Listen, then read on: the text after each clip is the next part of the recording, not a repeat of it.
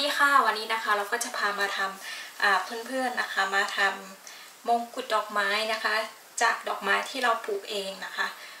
มาดูดอกไม้ก่อนๆนนะคะ ว่ามีอะไรบ้างอันนี้ก็คือดอก อันนี้เป็นดอกยิปโซค่ะ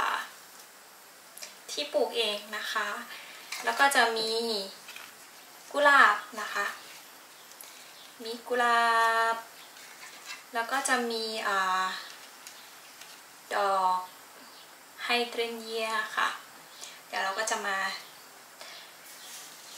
ลงมือทำกันเลยเนาะแล้วก็อีกอีกอุปกรณ์สองอย่างที่ขาดไม่ได้นะคะ ก็คือลวดค่ะ แล้วก็วอลาเทปค่ะเดี๋ยวเรามาลงมือทำกันเลยเนาะอันดับแรกเราก็ต้องมาดัดลวดนะคะ ให้อพอดีกับศีรษะของเราเนาะเดี๋ยวขอดัดลวดแป๊บนึงนะคะ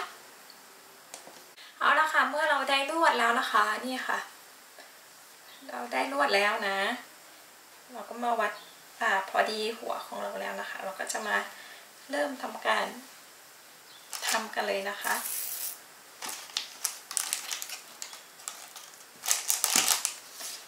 ดับแรกเราก็ตัดดอกยิปโซนะคะ มามัดให้ได้ขนาดที่ต้องการ คือมารวมดอก รวมดอกยิปโซนะคะ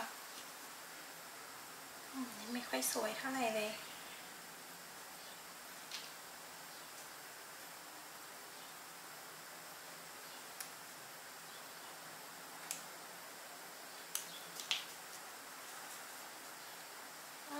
แบบนี้นะคะ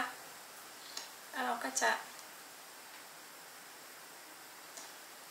าพันด้วยฟอร์เทปนะคะ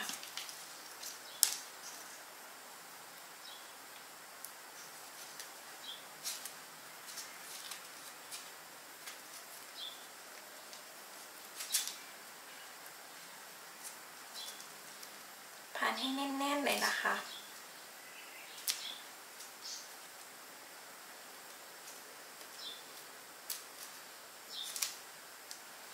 จากนั้นก็จะตามด้วยดอกไฮเดรเยียค่ะ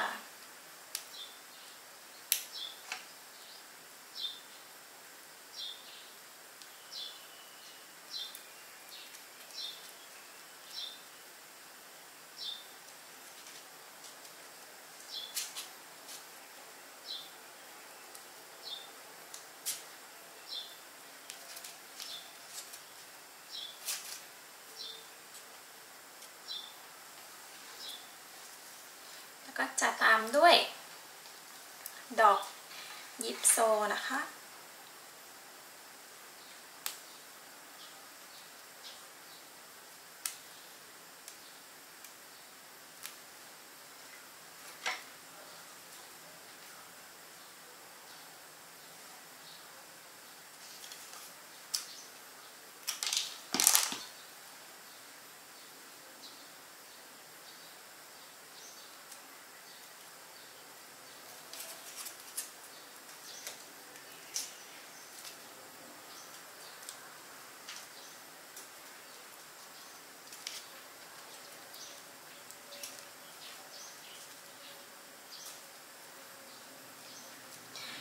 จะทำแบบนี้ไปเรื่อยๆนะคะ เดี๋ยวมา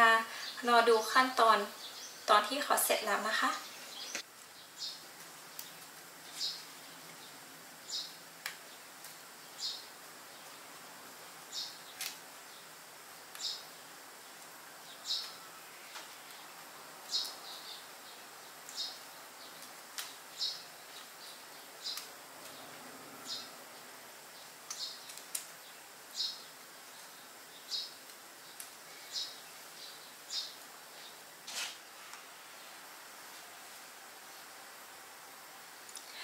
ค่ะ ในที่สุดก็ทำเสร็จแล้วนี่เห็นไหมคะ สวยไหมคะ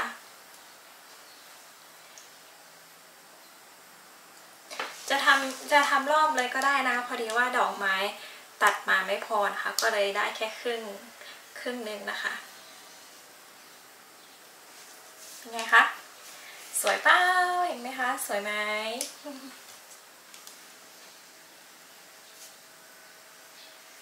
สำหรับวันนี้ก็พาท่านผู้ชมนะคะมาทำมงกุฎดอกไม้กันเนาะเดี๋ยวไว้คลิปหน้าจะพาไปทำอะไรนั้นรอติดตามด้วยนะคะสำหรับวันนี้สวัสดีค่ะ บ๊ายบาย